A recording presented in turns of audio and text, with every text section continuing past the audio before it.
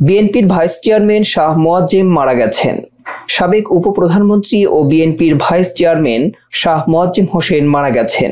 ইন্না লিল্লাহি ও ইন্না ইলেহি রাজিউন। বুধবার চোদ্দ সেপ্টেম্বর রাত সাড়ে নয়টায় গুলশানের নিজ বাসভবনে তিনি মারা যান। মৃত্যুকালে তার বয়স হয়েছিল তিরাশি বছর।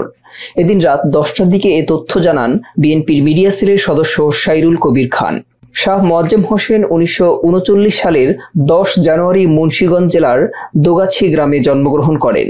তিনি ছয় দফা আন্দোলন, ভাষা আন্দোলন এবং বাংলাদেশের স্বাধীনতা যুদ্ধে অংশগ্রহণ সহ তৎকালীন সব রাজনৈতিক কর্মকাণ্ডে সক্রিয় ভূমিকা রাখেন। উনিশশো তিরাশি সালের প্রথম জাতীয় সংসদ নির্বাচনে তিনি বাংলাদেশ আওয়ামী লীগের প্রার্থী হিসেবে তৎকালীন ঢাকা পাঁচ আসন থেকে সংসদ সদস্য নির্বাচিত হন।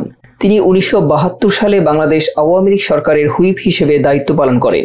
তিনি খন্দকার মোস্তাক আহমেদের মন্ত্রিসভার একজন সদস্য ছিলেন। এরপর তিনি হোসেন মোহাম্মদ এরশাদের নেতৃত্বে জাতীয় পার্টিতে যোগদান করেন। কিন্তু তাকে উনিশশো বিরানব্বই সালে দল থেকে বহিষ্কার করা হয়। তারপর তিনি বাংলাদেশ জাতীয়তাবাদী দলে যোগ দেন। তিনি দলটির ভাইস চেয়ারম্যানের দায়িত্ব পালন করেছে। মৃত্যুকালে শাহ মোয়াজ্জাম হোসেন এক ছেলে ও এক মেয়ে, নাতি, নাতনি সহ অসংখ্য গুণগ্রাহী রেখে গেছেন।